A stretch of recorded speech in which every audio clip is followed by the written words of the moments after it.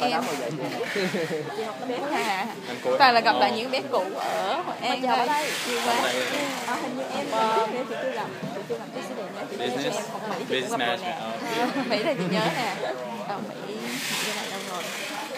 Mỹ chị gặp rồi Hàn gặp rồi Giang bên kia đầu tiên mày biết không nhiều em rất nhiều rất nhiều em chị đã gặp. Trên bên đó thì dạ. Tại mẹ em bắt ờ, bắt đi học nói được. Biết. Dạ được. Em biết cũng được.